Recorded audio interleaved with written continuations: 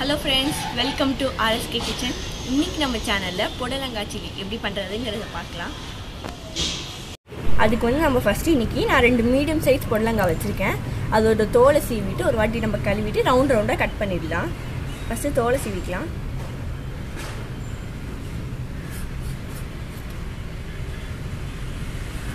இந்த புடலங்காய் வந்து எங்கள் மாடியில் வளர்ந்தது. ரொம்ப ஃப்ரெஷ்ஷாக சூப்பராக இருக்குல்ல?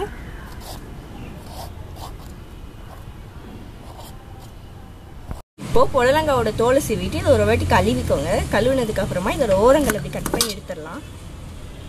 அப்புறமேட்டு கொஞ்சம் ரவுண்ட் ரவுண்டாக கட் பண்ணிக்கோங்க. ஃபஸ்ட்டு ஒழுங்காக வராது. அப்புறமா இங்கே கொஞ்சம் பாதிக்கப்புறம் கரெக்டாக வந்துடும் நல்லா மெல்லிஸாக இந்த மாதிரி கட் பண்ணிக்கோங்க. பாருங்கள் எவ்வளோ மெல்லிஸாக இருக்குதுன்னு அந்த மாதிரி மெல்லிஸாக கட் பண்ணால் தான் நல்லாயிருக்கும் ஸோ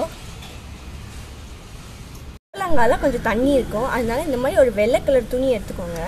அதில் பொட்டலங்காய் வந்து இப்படி வச்சுக்கோங்க லைனாக அப்போ தான் பொடலங்காயில் இருக்க தண்ணியெல்லாம் போயிடும் அப்புறம் ஒரு அரை மணி நேரம் கழித்து நம்ம வந்து இதை வந்து அந்த மசாலாலாம் கலந்துடலாம் இப்போ நம்ம புடலங்காலாம் கட் பண்ணி வச்சுருக்கோம்ல அது வந்து கொஞ்சம் காயறதுக்குள்ளே நம்ம மசாலாலாம் ரெடி பண்ணிடலாம்.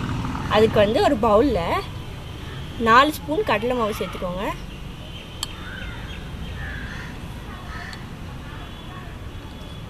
அப்புறமா நாலு ஸ்பூன் அரிசி மாவு சேர்த்துக்கலாம்.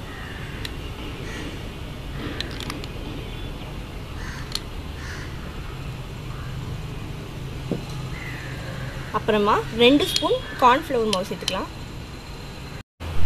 அப்புறமா கொஞ்சமாக பேக்கிங் சோடா சேர்த்துக்கோங்க. இது சேர்க்கலனாலும் பரவாயில்ல. அப்புறமா ஒரு ஸ்பூன் மிளகாத்தூள் சேர்த்துக்கோங்க. அப்புறம் தேவையான அளவு உப்பு சேர்த்துக்கோங்க. அப்புறமா ஒரு முட்டையை உடச்சி சேர்த்துக்கோங்க.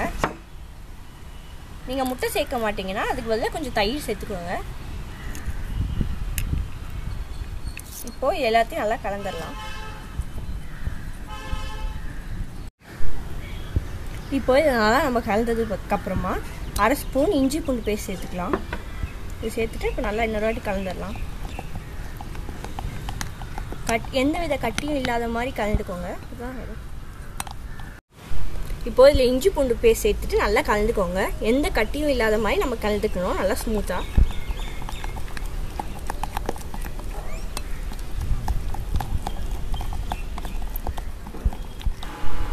இப்போ ஒரு அரை மணி நேரம் போல் ஆகியிருக்கு. புடலங்காயில் இருக்க தண்ணியெல்லாம் நல்லா போயிருக்கு. இப்போ இதில் வந்து இதில் கலந்துடலாம். கொஞ்சம் கொஞ்சமாக சேர்த்து ஃபஸ்ட்டு கலந்துக்கோங்க. நல்லா எடுத்து பொடிச்சிக்கலாம். எண்ணெய் காஞ்சதுக்கப்புறம்.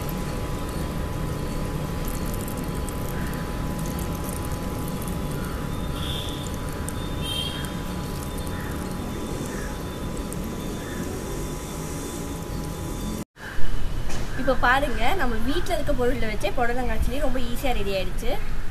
உங்களுக்கு இந்த வீடியோ பிடிச்சிருச்சுன்னா லைக் பண்ணுங்கள் ஷேர் பண்ணுங்கள் மற்றும் சப்ஸ்கிரைப் பண்ணுங்கள் உங்களுக்கு வேறு ஏதாவது வீடியோ வேணும்னா கீழே இருக்க கமெண்ட் பாக்ஸில் சொல்லுங்கள் இந்த ரெசிபியை கண்டிப்பாக உங்கள் வீட்டில் ட்ரை பண்ணி பாருங்கள் தேங்க்யூ